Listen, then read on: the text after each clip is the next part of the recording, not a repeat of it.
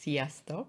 Nagy szeretettel köszöntelek benneteket itt a mai webináriumon, ahogy megegyeztünk, ahogy ígértem, ahogy kiírtuk, 18 óra órakor, 18.00 órakor kezdünk.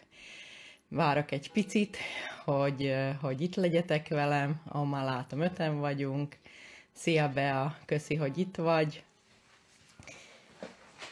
Szia Berti, köszönöm, hogy itt vagytok. Moncsi, sziasztok! Akkor el is kezdjük. Mi a mai témánk? Miért nem vagyunk képesek változni? Mikor kiírtuk ezt a, ezt a témát, még nem, nem tudtam, nem, uh, uh, nem volt jele annak, hogy, hogy el leszünk zárva, uh, kiárási tilalom lesz, stb. stb. Tehát nagyon-nagyon örülök, ugyanis ehhez a helyzethöz most a mai webinárunk nagyon-nagyon passzol. Ugyanis egy változásról van szó, tehát aktuálisan, amiről fogok, fogok beszélni, szia Marika, aktuálisan, amiről fogok beszélni, az vesz most minket ö, körbe. Tehát jött egy hatalmas nagy változás az életünkbe, változtak a szabályok, teljesen megváltozott az életünk pár nap alatt, és a saját bőrünken tapasztaljuk, hogy ez nem is olyan egyszerű. Úgyhogy hogy reagálunk erre a változásra? Nézzétek, nézzetek körül, nézzetek, hogy mi megy a tévébe, mi megy a, a, a Facebookon, mi, mi megy a, a, a cseteken. Pánikolunk és félünk. Miért nem merünk változni?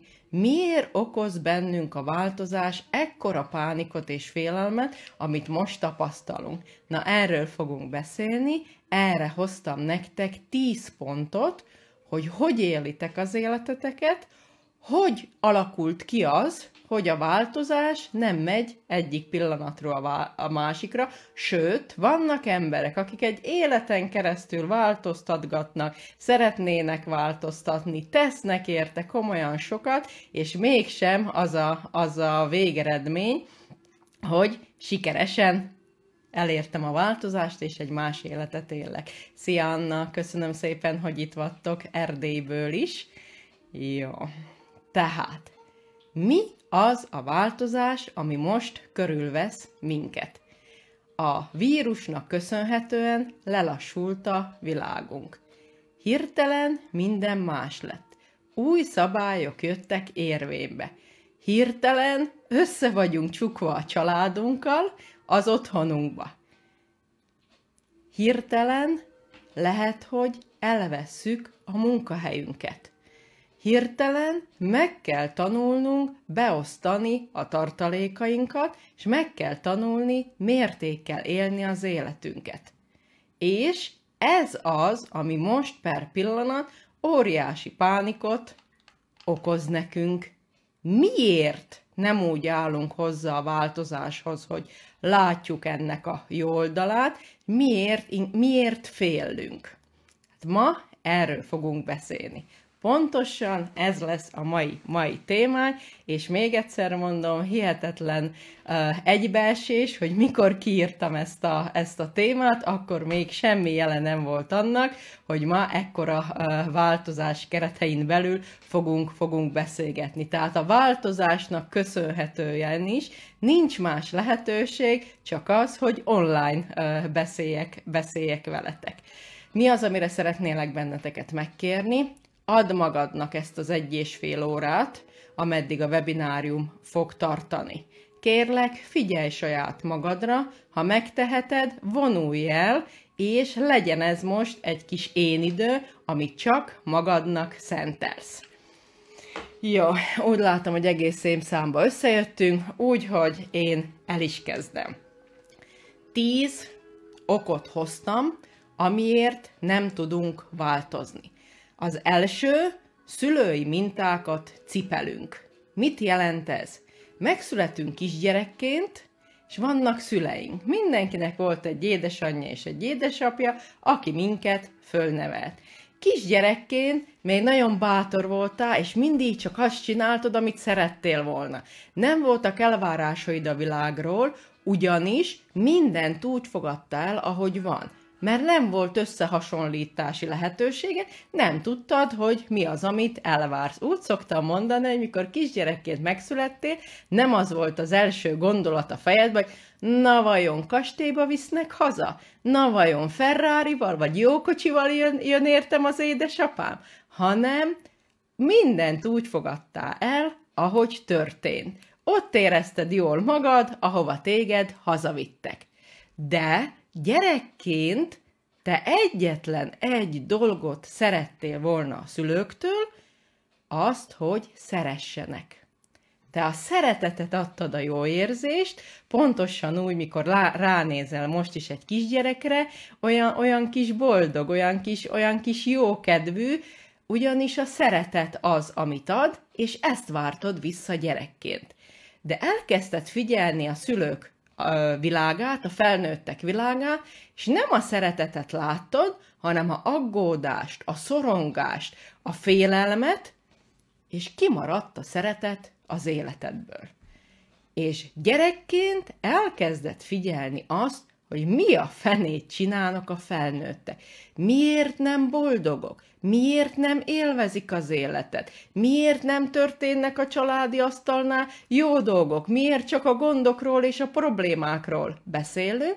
És ahogy gyerekként elkezdett figyelni, és fejlődik az agyad, a agyad pontosan elraktározza azt a programot, azt a viselkedés mintát, amivel a szüleid élték az életüket, vagy azokat a viselkedés mintákat, amit a szüleid választottak maguknak megoldásként. És addig-addig nézeketed, és fejlődik az agya, még ez a viselkedés minta elraktározódik. És eljön a pubertáskor, mikor utolsókat rúgjuk, még, még, még akkor megpróbáljuk megtartani a saját személyiségünket, a saját szabá- a szabadságunkat, de egyszer csak minél idősebbek vagyunk, rájövünk arra, hogy pontosan ugyanúgy oldjuk meg a dolgainkat, és pontosan ugyanúgy csináljuk az életünket, mind a szüleink csinálták. Általában egyik szülőd viselkedés mintája sokkal-sokkal jellemzőbb rád, ugyanis kiválasztottad azt, ami számodra eredményesebb volt. Tehát az első pontba, ami arról szólt, hogy a szülői mintákat cipelünk, kérlek, figyeld meg, hogy rájöttél-e már arra, hogy pontosan ugyanúgy éled az életedet, mint ahogy a szüleid élték. Csak te természetesen a saját módodon csinálod ezt. Ugyanúgy reagálsz dolgokra, és mikor szituáció van, csak úgy tudsz reagálni, mint ahogy otthon megtanultad. Nagyon sokszor jönnek hallgatóim ezzel hozzám, hogy Jézus Mária, azt vettem észre, hogy ugyanolyan vagyok, mint anyám, ugyanolyan vagyok, mint apám. Tehát nem változtattál, hanem minden megy a generációs mókus kerék alapján tovább-tovább. A második pont, amiért nem tudunk változni, az az, hogy maszkokat viselünk és szerepeket játszunk. Ugye Shakespeare mondta, sokszor szokom idézni, hogy színház az egész világ, és színész benne minden nő és férfi. Sok szerepbe fellép, aztán lelép. Mik a mi szerepeink, vagy hogy, hogy jött ez az életünkbe, hogy megtanultunk szerepelni, és szerepeket játszunk. Vagy ahogy szokták mondani, minden egyes szituációba egy másfajta maszkot rakunk föl magunkra. Első szerepünk az életünkbe, az pontosan akkor következett be, mikor gyerekként rájötté, hogy a feltétel nélküli szeretet nem működik. Sőt, nagyon sokan azt gondoljátok, még mai napig is, hogy a feltétel nélküli szeretet nem létezik. Ugyanis, mikor gyerekként azt látod, hogy mikor a szülő megszabja a feltételeket, ha te azt betartod, akkor szeret.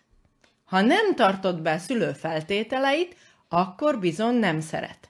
Ezért a első szerep, amit te magadra vettél gyerekként, az pontosan az volt, hogy beálltál vagy jó gyereknek, vagy rossz gyereknek. Tehát mit csinál a jó gyerek? A jó gyerek teljes mértékben megtanul úgy viselkedni, ahogy a szülő elvárja tőle. Én gyerekként nagyon sokszor szoktam azt mondani, amit az édesapám mond, az számomra a szentírás. Ugyanis olyan szinten szerettem volna megfelelni. Én voltam a jó gyerek. És volt a lántestvérem, aki volt a rossz gyerek, akinek a szerepe az volt, hogy nehogy azt csináljam, amit a szüleim szeretnének, hanem annak 180 fokos ellentétjét. De ebbe a szerepbe megtörtént életünk első drámája, ami véget nem tudunk változást véghez vinni az életünkbe, és mi ez a dráma? Ez a dráma az, hogy nem arra figyeltél. Elfelejtettél arra figyelni, hogy te mit szeretnél hogy neked mi a céljaid, hogy te milyen életet szeretnél élni, hanem elkezdtél arra figyelni, hogy megfelelj a szülőknek, és elkezdted úgy játszani a szerepedet, hogy nekik jó legyen. Tehát életbe először lemondtál saját magadról. A szülői elvárások után jöttek az elvárások az iskolába, és jöttek a társadalmi elvárások. Mik a szerepeink? Pontosan megírt szabályok szerint éljük a szerepeinket, vagy azt gondoljuk, hogy úgy kell élni, hogy megfeleljünk másoknak. Tehát úgy játszod a anya szerepét, hogy te rád mások azt mondják, hogy igen, te jó anya vagy úgy játszod a feleség szerepét, hogy a férjed azt mondja, hogy igen, te jó feleség vagy. Úgy játszod a kolléga szerepét, hogy a kollégák a külvilágot azt igazolja vissza, hogy igen, te jó kolléga vagy. Egyfolytában meg akarsz valakinek felelni. És leéled így az életedet 30-40 évig, még csak nem egyszer jön egy pofon az életedbe, aminek köszönhetem, vagy egy tapasztalás, aminek köszönhetően egy picit megállsz, és rájössz arra, hogy nem is a saját életedet éted. Sőt, ami még rosszabb, rájössz arra, hogy azt se tudod, hogy mi az a élet, amit te élni szerettél volna. És hadd mondjam el itt az én saját példámat. Tehát 33 éves koromra megépítettem az én álomvilágomat, az én, az én cégemet, a, azt a sikeres életet, amit édesapám mindig is elvár tőlem, hogy az én lányom az vállalkozó legyen, önellátó és sikeres legyen. Minimum minden újság rólam írja. Tehát ez volt édesapám elképzelése. Én ezt 33 éves koromra elértem, és egyszer csak jött a pofon az életembe, elveszítettem mindent. És mikor ott voltam az én gödörömnek a legesleg mélyén, és mikor belenéztem saját, saját magamba, és mikor föltettem a kérdést, vagy mikor megláttam azt, hogy nem is azt éltem, hogy én szerettem volna, hanem egy megfelelési kényszerekbe éltem az életemet, még 33 éves koromban, és mikor már második férjem volt, és két gyerekem, még mindig valakinek megfelelésből éltem az életemet. És mikor föltettem ebbe a pillanatba azt a kérdést, hogy de vajon, ha az én életemet élhettem volna, és nem akartam volna megfelelni, hanem bátran, merésze, mentem volna előre, akkor milyen lett volna az a élet, és képzeljetek el, hogy ott, abba a pillanatban meg sem tudtam mondani. Tehát itt, ennél a pontnál vegyétek észre, hogy kinek akartok megfelelni? Mik azok a szerepek, amit azért vettetek magatokra, hogy a társadalmi elvárásoknak megfeleljetek? Mennyire vágytok arra, hogy olyan visszajelzést kapjatok az életbe, hogy igen, te így vagy jó.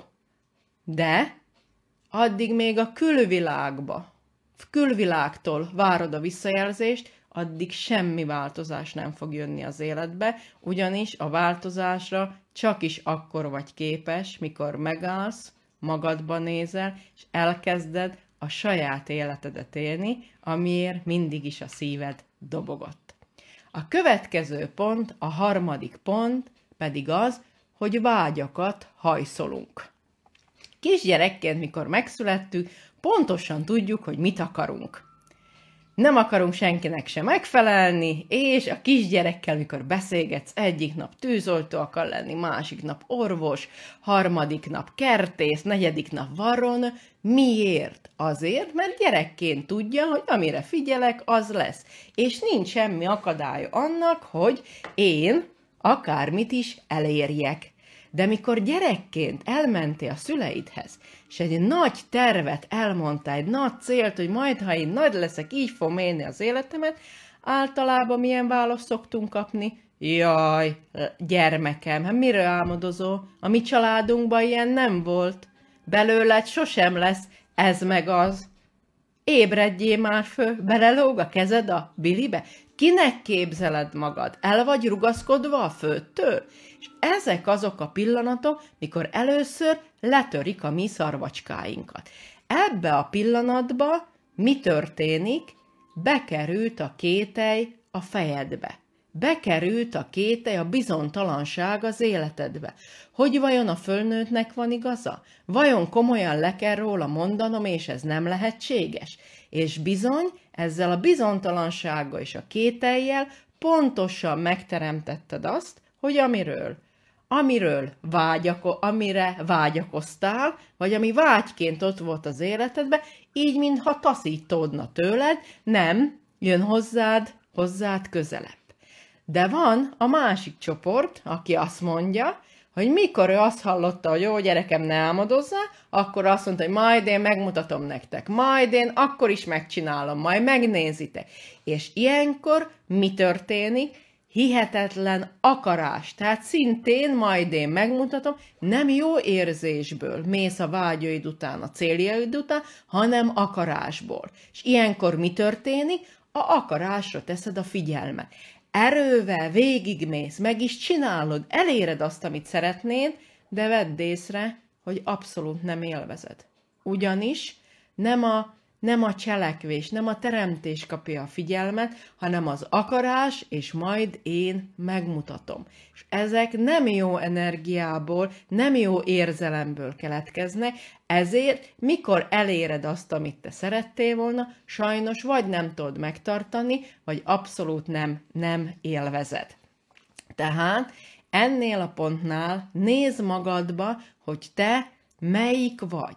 Az vagy, aki Vágyakozol, de nem bízol magadba, hogy te ezt meg tudod csinálni, kételkedsz magadba, nincs meg az önbizalom, ezért a célod egy életen keresztül csak vágy marad. Vagy pedig az vagy, és ugye nem tudsz változtatni nem tudsz más végeredményt létrehozni. Vagy pontosan a ló túloldala vagy, aki majd én megmutatomból, akarásból, erőszakból építi fel az életét, és a végeredmény az az, hogy igen, itt van, és akkor most mit kezdjek vele, mert élvezni nem tudod. Negyedik pont, mókus kerékbe élünk. És ebből a mókus kerékből nagyon nehezen tudunk kilépni, sőt, az emberiség nagy része nem tud kilépni a mókus kerekéből. Tehát addig még a mókus kerekedet pörgeted, nem vagy képes a változásra. Mennyire vetted már észre azt, hogy mindig ugyanaz történik az életedbe, csak kicsit pepitába, kicsit másképpen, de a végeredmény mindig ugyanaz. Ugyanis addig még tudod tudattalanul éled az életed, addig a múlt történései alapján félsz, hogy nehogy ugyanaz megtörténjen a jövőbe, és a mókuskerék az azt jelenti, hogy egyfolytában tudattalanul úgy éled az életedet, hogy az a sok rossz dolog, a, ami a múltba történt, és amit te megjegyezte, és ami, ami véget keseregti, nehogy megtörténjen veled a jövőbe is. És ezért mi történik? Mi az, amire figyelsz? Ez a rossz dolog nehogy megtörténjen velem a jövőre. Jövőbe. Nem a célodat figyeled, nem, nem a vágyadat hozod létre, hogy, és nem bátran mész bele, hogy igenis én elérem, hanem félelemből alakítod a jövődet, hogy nehogy ugyanúgy járja, mint ahogy már egyszer jártam. Mivel erre figyelsz, pontosan ugyanúgy fogsz járni, mint eddig, semmi változás nem fog változni az életedben. Mondok pár példát. Van itt közületek olyan, aki megélte azt, hogy elválok a férjemtől, vagy a feleségemtől, mert változást szeretnék, megtaláltod az új párodat, rájött, hogy minden ugyanolyan, csak egyik szőke volt, a másik meg barna? Vagy van itt közületek olyan, aki munkahelyet változtatott, mert azt mondta, hogy majd én innét elmegyek, mert ezek a kollégák ilyenek, meg ez a munka ilyen, és majd én találok mást, és elmentél a másik munkahelyre, és mikor ez a jó érzés, ez pár nap alatt eltűnt, akkor rájötte arra, hogy jé, hát minden ugyanolyan, mint ott mind a régi munkahelyemen volt, csak éppen most más irodába ülök, más városba járok, és más kollégák vesznek körül. Tehát ez az a mókuskerék, amit körbe-körbe hajtunk, és ezért nem tudunk változtatni. Addig még a múltba ész, vagy a jövődöt tervezgeted, és kihagyod a életedbe a jelen pillanatot, a mostot, hogy most mit szeretnél, tehát addig még tudattalanul éled az életedet és nem tudatosan a jelen pillanatot éled meg, addig nem tudsz kilépni a mókus kerekedből. Tehát ez volt a negyedik pont. Ötödik pont. Hogy cselekszünk kényszeresen, vagy ebben nem cselekszünk, mert azt mondjuk, hogy majd holnap megoldjuk. Vegyétek észre azt, hogy általában kényszeresen cselekedtek. Honnét hosszuk ezt a cselekvési kényszert? Ugye gyerekként szintén elmagyarázták nekünk, hogy akkor vagy valaki, vagy azáltal fognak téged ítélni, hogy mit raktál az asztalra, mi az, amit véghez vittél. Tehát, mikor te azt mondtad, hogy hihetetlenül vágyok arra, hogy ne kelljen semmit se csinálnom, de annak ellenére bőségbe éljek, akkor, mikor ezt a sors megadja neked, hogy nem kell semmit csinálni, azonnal elkezded érezni, azonnal úgy kezded el magad érezni, hogy tétlenkedsz, azonnal jön ez a vágy, hogy valamit csináljak, mert úgy értékeljük ki, hogy most lusta vagyok, unatkozok, ezért kényszeresen elkezdesz valamit csinálni. Ez is az egyik szokásunk. Ugye a szokás, hogy inkább legyen lepötörővel por, mindennek rendbe kell lenni, mu- muszáj mindig valamit csinálnunk, mert mikor cselekszünk, akkor nem muszáj saját magunkkal szembenézni. Nem muszáj intézni a családi ügyeket, és megtanulunk kényszeresen cselekedni, mert ezt láttuk otthon, ehhez szoktattak hozzá. És pontosan erre jó ez a mostani szituáció, ami kialakult a világban, hogy ebből a kényszeres cselekedetből egy picit kikap minket az univerzum, kikap minket a sor, és azt mondja, állj le, és nézz szembe magaddal. Ne kényszeresen cselekedj, ugyanis a kényszeres cselekedésnek is két oldala van. Az egyik, hogy önbizalom hiányból nem cselekszel, mert azt gondolod, hogy te erre nem vagy képes. Ezért úgy éled az életedet, hogy mindig találsz magadnak valakit, akit ráveszel arra, hogy cselekedjen, és te használsz egy nagyon-nagyon jó kifogás, hogy majd te holnap fogod ezt megcsinálni. Ismertek ilyen embereket, vagy esetleg te vagy ilyen? Jó, ez a ló egyik oldala. A ló másik oldala az az, hogy cselekszünk, és azt hiszük, hogy mindent nekünk kell megcsinálni. Mert csak az a jó, hogy ha mi, mi csináltuk meg, csak úgy lesz pontos, úgy lesz százszázalékos. És képzeld el, hogy ezt a, ezt a nem cselekvést, önbizalomhiányból, vagy ezt a túlságos cselekvést, ezt használod kifogásnak arra, hogy nem változol. Jó? Tehát aki azt mondja, hogy majd holnap, ő azért nem akar változtatni, mert önbizalom hiányba azt hiszi, hogy ő nem képes rá. Aki meg kényszeresen cselekszik, az azért nem tud változtatni, mert azt mondja, jaj, nekem nincs rá időm, nekem annyi mindent kell csinálni, és nem veszi észre, hogy a napjának az 50%-át, majdnem a felét, hanem több időt csak kényszerből, ragaszkodásból, szokásból cselekedik. Tehát a kényszeres cselekvés is gátol minket a változásba. Egy hihetetlen jó kifogás. A hatos pont pedig az, hogy az érzelmeid irányítanak. Mit jelent ez? Itt egy kicsit pontosabban szétszedjük. Amíg tudattalanul éled az életedet, addig olyan vagy, mint a színházba az a bábó, aki föl van kötözve, és így föntről húzkálják. Ki az, aki téged húzkál? Az érzelmeid irányítanak téged. Tudattalanul nem te irányítod a sorsodat. Tudattalanul nem te irányítod az életedet, hanem az érzelmeid irányítanak téged. Mi a tudatos élet? Pontosan az ellentétje, te irányítod az érzelmeidet. Észrevetted-e már, hogy a fejedbe csak is negatív gondolatok fogalmazódtak meg.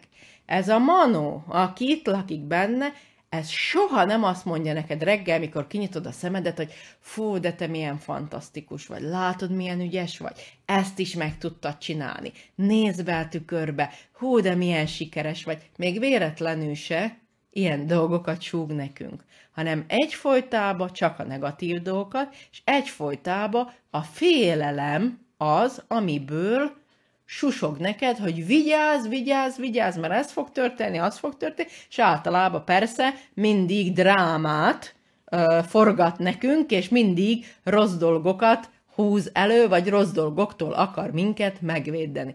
Miért van ez így? Ez egy teljesen normális agyi reakció. Ugyanis ezt hívjuk ego börtönének, ugyanis életünk folyamán én úgy szoktam mondani, hogy ilyen kis fiókokba a rossz és a negatív tapasztalatokat elfiókozzuk. Egyetlen egy negatív érzelemmel éljük az életünket.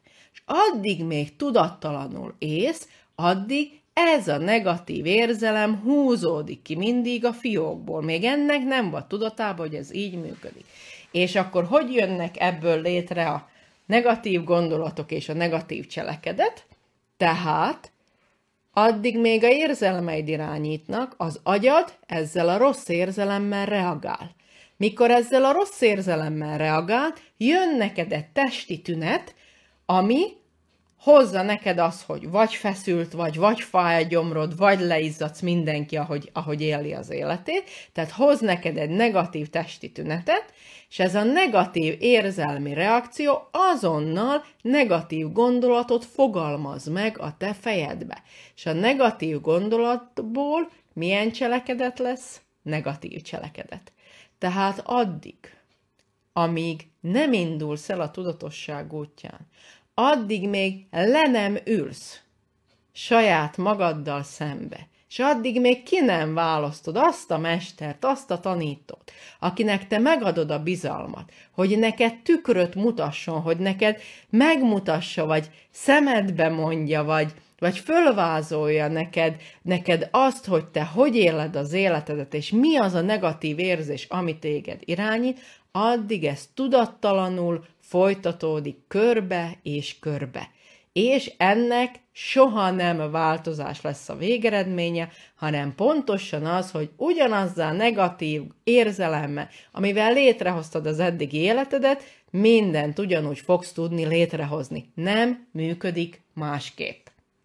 Tehát ez egy nagyon fontos tanítás, és valójában egy alapja a tudatosságnak, hogy eljuss oda, hogy tudd megfigyelni saját magadon, hogy milyen érzelmi világgal éled az életedet. A következő pont, a hetes pont, pedig az, hogy imádunk szenvedni. Jól halljátok, imádunk szenvedni. Felmerült már benned az a kérdés, hogy miért kell annyit szenvednünk a életünk során? És hogy miért van ennyi szenvedés a Földön? Most is, jelen pillanatban, és a szenvedést éljük meg. Szenvedünk, ha betegek vagyunk. Szenvedünk, ha nem úgy alakulnak a dolgok, ahogy azt mi kitaláltunk. Szenvedünk, ha veszteségért. Szenvedünk, ha nem szeretnek. Egyfolytában szenvedünk. Sokkal többet szenvedünk, mint amennyit boldogok vagyunk. És mikor lejár az időnk itt ezen a földön, a boldogságunk csak egy másodperc alatt pörög le. Mert összes többiben mit csináltunk? Szenvedtünk. Miért szenvedtünk? Mert már ezt megszoktuk, ez már olyan ismerős a szenvedés, ez már nekünk olyan tutin megy. És miért van ez? Ugyanis a szenvedés szemüvegén keresztül nézzük a világot. Gyerekként, mikor boldogok voltunk, mikor adtuk a szeretetet a szülőknek, nem azt láttuk, hogy a szüleink 10 centiméterrel a föld fölött hihetetlen boldogságba, sikerekbe élték az életüket, hanem azt láttuk, hogy egyfolytában valamiért szenvedtek. Vagy a párkapcsolatért, vagy azért, mert nincs pénz, vagy azért, mert nem jó a munkahely, vagy azért, mert, mint mondott a Maris néni a szomszédba, mindig volt ok, amiért ők szenvedtek. Nem rád figyeltek, nem volt idő veled foglalkozni, és nem volt idő a szeretetre, a jó dolgokra. És ezt tökéletesen eltanultad, és tökéletesen föltetted a szenvedés szemüvegét. És képesek vagyunk bármilyen szituációba szenvedni. Hogy fog ez a szemüveg lekerülni rólad? Neked kell eldönteni, hogy elég, és szeretném lerakni. Tehát egy döntésre van szükség, meg arra, hogy vedd észre, hogy e akár csak pörges le napodat, hogy mennyi benne az a pillanat, amit jó érzéssel ész meg, és boldogsággal, és mennyi az a pillanat, amit vagy közömbösséggel, vagy pedig, ami még rosszabb, szenvedéssel. Jó? Itt van ez a jelenlegi szituáció is. Amit lá- me- megnézhetünk úgy is, hogy úristen, pánik van, most bezárnak minket, és most nem mehetünk sehova, és most nem mehetünk munkába, és nem cselekedhetünk kényszeresen, és félünk, nézhetjük így is a szituációt, vagy nézhetjük úgy, ahogy én nézem, hogy jé, kényszerszabadság. Jé, meg tudok csinálni olyan dolgokat, amire eddig nem volt időm. Jé, otthon a család imádják, hogy anyu főz. Most anyu nem siet sehova se, tehát képzeljétek el, szombaton azt gondolták, hogy reggeltől estélig a konyhába fog, fogok állni. Annyi, annyi fajta óhajuk és kérelmük volt, olyan boldogak voltak, hogy anyu végre itt van, és, és anyu, anyu főz nekünk. Tehát megláttam ebbe a szituációba is azt, hogy mi az, aminek lehet örülni. Mi az, ami engem boldogsággal tölt el? Ugyanis hiába fogok pánikolni és szenvedni. Meg tudom változtatni, ami kívül történik? Nem. Semmi nem lesz másképp. De azzal, ha pánikolni és szenvedni fog, el tudom rontani a családom életét, el tudom rontani azokat a perceket, amit otthon tölthetnénk boldogságba, stb. stb. stb. Tehát vedd észre azt, hogy te mennyire szeretsz szenvedni. Következő pont. Mindig azt várjuk, hogy a másik változzon. Úgy társas lények az emberek, valakivel együtt élünk, van családunk, vannak kollégáink, állandóan emberekkel vagyunk körbevéve és nagyon-nagyon jó taktika, amit bevettünk magunknak, hogy majd a másik változzon meg.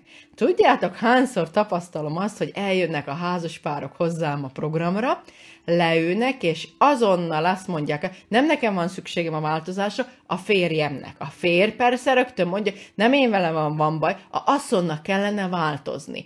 Általában, mikor házaspárok jönnek, én mindig elültettem őket egymás mellő, vagy ha elvonulásra is jönnek, akkor soha nem ülnek egymás mellett. És ilyenkor először persze szoktak sértődni, hogy vajon ez miért van, Nati, most miért nem lehetünk együtt?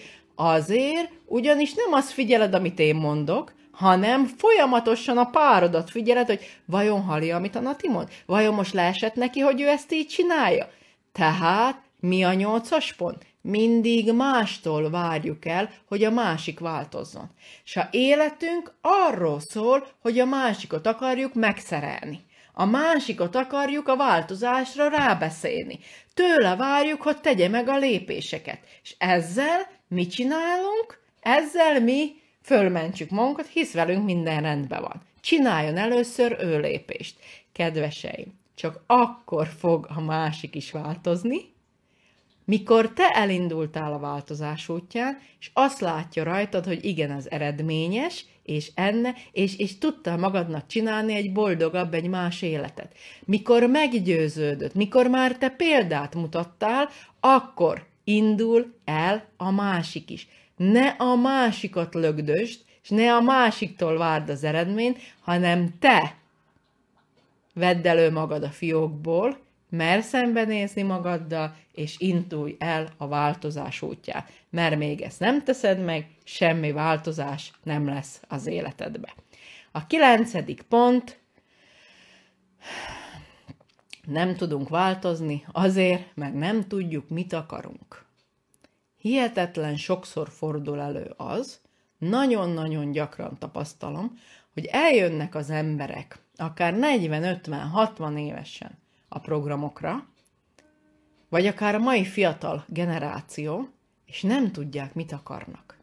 Jó, a fiataloknál még megvan az, hogy majd én szigetekerről, Ferrari-val és home office-ból szeretném élni a hűde gazdag életemet, ő nekik még vannak ilyen, ilyen elképzeléseik, igen, a, a fiatal generációnak, de már a mi generációnknak és a utánunk következő nem tudják, mit akarnak. Ugyanis nincsenek célok az életünkbe. Tehát éljük az életünket úgy, hogy ahogy esik, úgy puffan. És ilyenkor azt szoktam mondani, hogy ha neked nincsenek céljaid, ha te már nyugdíjba vonultál 40 évesen, mert azt mondod, hogy á, én ma, amit elértem, az nekem jó, és én, én, én, én nem tudom mit csinál, nincsen célom, nekem minden jó, ahogy van. Tehát azt szoktam mondani, ha nincsenek céljaid, ha nem tudod, mit szeretnél, mindig jön valaki, és majd megmondja. És ilyenkor hihetetlenül be vagyunk sértődve, ilyenkor hihetetlen rosszul érezzük magunkat, hogy már megint a másik életet élem, és már megint ő mondta meg nekem. Igen, azért, mert neked nincs meg a saját célod. Nem tudod, merre mész, nem tudod, hogy mit szeretnél.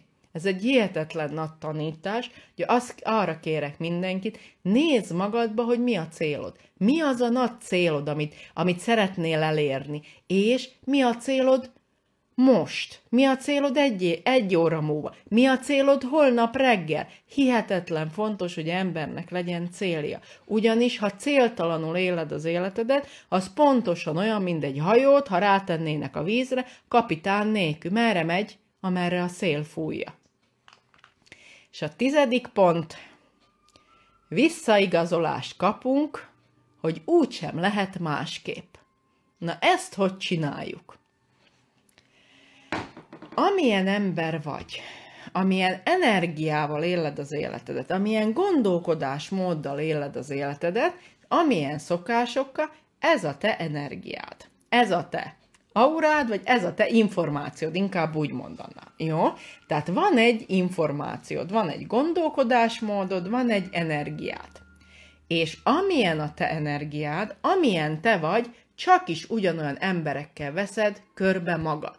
Nem tudsz más emberekkel találkozni, ugyanis a energiád, vagy úgy is szokták mondani a rezgés szinten, valamilyen szinten rezegsz. És azon a szinten csak pont ugyanolyan emberek vesznek körül, amilyen te vagy. Nem, nem tudsz beugorni egy más rezgés szintre, ha ők itt, itt máské, máshol sétálnak, vagy rezegnek, te pedig itt rezegsz. Teljesen más utcákon jártok. És a te utcád, don pontosan olyan emberek járnak, mint te. Ugyanazt csinálják, csak mindenki a saját módján. És még tudattalanul éled az életedet, és a külvilágból várod azt, hogy visszaigazolja neked, hogy vajon jó-e az, amit csinálsz, vagy nem, vagy, vagy hogy lehet-e változni az életbe, mivel te nem vagy képes a változásra, ezért olyan emberekkel vagy körülvéve, akik szintén nem képesek a változásra, ugyanis ugyanúgy élnek, mint te, csak ők a saját módjukon csinálják. És ekkor egy idő után az ember eljut abba a stádiumba, hogy de neki se sikerült, de neki se, neki se, ezért nekem se fog sikerülni. És gyönyörűen, amit adsz, azt kapsz vissza. Tehát ha kételkedsz magadba, és nem hiszel magadba, akkor olyan emberek vesznek körül, akik szintén kételkednek és nem hisznek magukba, ezért senki nem tud változást létrehozni, és ennek a végeredménye az, hogy egy idő után föladod, és azt mondod, mivel nekik se sikerült, nincs példa a külvilágba, ezért nekem se sikerül. Vagy nem is kell érte semmit se tenni. De ez egy hatalmas nagy becsapás. Ugyanis azt, amire te vágyol, azt a változást, amit te szeretnél elérni, mindig nézd meg globál az egész világot. Van olyan ember, aki elérte? Van olyan ember, aki úgy él, ahogy te szeretné? Biztos, hogy van. Nem tudsz olyat találni, hogy nincs, mert nem tudsz olyan dolgot kitalálni, ami a világban még nincs jelen. Tehát biztos van, csak egyetlen egy gond van, hogy ő egy másik utcán sétál, és te is egy másik utcán sétálsz, azért nem látjátok egymást. De mikor te elhatározod, hogy változás szeretné, és igen, megnézed, hogy de az ember mit tett azért, milyen szokásai vannak, hogy éli az életét, hogy elérte azt az eredményt, amit te szeretné, és ha ezeket a szokásokat elsajátítod, megtanulod, akkor ugyanúgy el tudod érni a változást. Tehát a tizedik pontnak a tanítása az volt, hogy olyan emberekkel vagy körülvéve, mint te vagy, ezért ugyanazt a visszaigazolást kapod, ami benned van, ha te már valamiről lemondtál, akkor a külvilágba azt a visszaigazolást kapod vissza, hogy nem is kell érte tenni, mert úgysem sikerül. Végére értünk a 10 pontnak, amit ígértem nektek, és most az a kérdésem hozzád, és egy pillanatra figyelj magadra, hogy mennyire ismertél magadra. Volt a tíz pontba olyan, amire azt mondtad, hogy fú, ezt én így csinálom? Ha igen, na ezért nem vagy képes a változásra. És sajnos, mikor én elindultam a változás útja, nem egy pont volt és kettő, hanem tízből tíz pontosan megfelelt. Úgy éltem az életemet. Tudattalanul mindig a külvilágnak akartam megfelelni. De én olyan szinten belefáradtam a régi életembe, és, és azt mondtam, hogy nem létezik, hogy a élet mindig csak a szenvedésről szóljon, és azt se hiszem el, hogy, hogy cselekszel, hogy csinálod, és a végeredmény soha nem a siker lesz, hanem mindig valami kudarc vagy veszteség. Ezért én összeszedtem minden erőmet, és elindultam a tudatosság útján.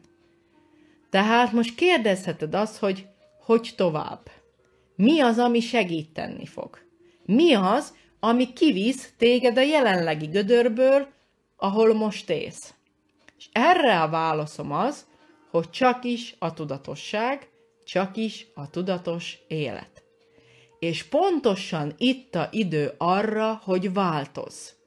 Nézd meg, mit mutat nekünk a jelenlegi helyzet. És miért ajándék a jelenlegi helyzet? Mert itt az idő, a univerzum gyönyörűen megszervezte neked azt, hogy most már igazán nem, hal, nem használhatod kifogásként azt, hogy nincs időd saját magadra. Ugyanis kényszerből lett most hirtelen nagyon sok időd. És ez a lehető legjobb alkalom, hogy végre előved magad, és végre elindulj a tudatosság útján, a változás útján. És most van egy ajánlatom a számotokra. Az előadásom része most lejárt, jó, és arra szeretnélek benneteket kérni, most csak azok maradjanak itt, akit érdekel ez a, ez a ajánlat, amit hoztam, de azok maradjanak itt, akik eldöntötték azt, hogy igenis, eljutottam oda, hogy szeretnék végre változást elérni az életembe. Tehát, ha már eljutottál oda, hogy nem akarsz tovább keresgélni, nem akarsz kereső egóként rohangálni tanítótól tanítóhoz, hanem szeretnéd befejezni a tanulást, akkor maradj itt. Ha eljutottál oda, hogy eleged van a szenvedésből, és végre szeretnél boldogan élni, akkor maradj itt. Ha eljutottál oda, hogy már szeretnék kiszállni a monkuskerékből, és a kudarc helyett a sikereidet szeretnéd élni, maradj itt. Ha eljutottál oda, hogy végre olyan szülő legyél, aki arra fogja tanítani a gyerekét, hogy hogy legyen boldog, nem arra, hogy hogy féljen egy életen keresztül, maradj itt. Ha eljutottál oda, hogy megfáradtál már az örökös harcba, már megfáradtál abba, hogy a házasságod egy örökös vita és veszekedés, és végre szeretnél harmóniába élni a szeretteiddel, akkor maradj itt, mert van számodra egy ajánlatom. Létrehoztam egy kulcsa tudatossághoz online tanítási csoportot. Mivel én nagyon úgy gondolom, hogy a világ változni fog, sőt, változásra is van szükség. Amint látjátok, elment a világ totálisan a anyagiasságba, elment a világ az embertelenségbe. Ha ez így folytatódik, ennek katasztrofális vége lesz. Tehát ezért maga az univerzum rákényszerített minket arra, hogy legyen időt saját magadra, hogy nézz szembe saját magaddal. És mivel nem tudunk személyesen találkozni, ezért hoztam létre ezt a online csoportot, így szeretnék segíteni azoknak, akik rájöttek arra, amit én is látok, hogy igen, változásra van szükség, és ha te, te és te nem fogsz változni, akkor nem fogjuk tudni a változást létrehozni. Az én vízióm az az, és erre tettem fel a küldetésemet, hogy majd egyszer az én gyermekeim egy olyan világba ébredjenek fel, ahol társasági szinten, vállalkozói szinten és politikai szinten is az emberek tudatosan egymás elfogadásába ének, teljes mértékben e- etikusan. Állnak egymáshoz. Tehát egy más világ létrehozására van szükség, ugyanis ez a világ, amiben most élünk, ez a világ megbukott, nézzétek meg, mit tudtunk létrehozni. Ha tudsz azonosulni ezzel a vízióval, és ha eljutottál oda, hogy igen, én is tudatosan szeretnék élni, én is a változás része szeretnék lenni, akkor nagy szeretettel várlak benneteket a Kulcs a Tudatossághoz című online csoportba. A kollégáim beposztolják ide az élő videó alá, és ebbe a csoportba bejelentkezhettek, megkapjátok a, a feltételeket, hogy mi az, amit, amit uh, teljesíteni kell, van egy pár, pár uh, uh, kérdés, és ebbe a csoportba fogok azokkal az emberekkel online foglalkozni, és azoknak az embereknek segíteni, akik eljutottak oda, hogy látják, hogy szükség van a változásra. És azokkal az emberekkel szeretnék foglalkozni, akik már nem a kifogásokat fogják használni, nem a másiktól fogják akarni a változást, hanem ők képesek tenni saját magukért. Tehát nagy szeretettel hívlak benneteket meg a Kulcsa Tudatossághoz című csoportomba, ahol online fogok veletek foglalkozni, online tanításokat fogtok, fogtok kapni, és a szerdai webináriumot, hogy élj boldogan, ezt már ebbe a csoportba fogom megtartani. Tehát csak azokkal az emberekkel szeretnék foglalkozni, azokkal a személyekkel, akik igenis szeretnének változni, és hajlandók is tenni érte. Úgyhogy nagy szeretettel invitálok benneteket, és uh, kollégák már beposztolják, keressétek meg a csoportot, jelentkezzetek be, e-mailbe megkapjátok a, a, a, a, a feltételeket, így szeretném segíteni, szeretnélek segíteni benneteket, szeretném segíteni az emberiséget és a világot, hogy egy új jövőt, egy más jövőt, egy tudatos világot hozzunk létre. Nagyon-nagyon szépen köszönöm, hogy itt voltatok, nagyon szépen köszönöm, hogy ennyien voltunk, és ti, akik velem tartotok a csoportba, már szerdán folytassuk is a tanításokat, vagy inkább úgy mondom, hogy elkezdjük elkezdjük a tudatos tanítást, a tudatossággal fogunk foglalkozni. Adj magadnak ennyit. Szépen kérlek.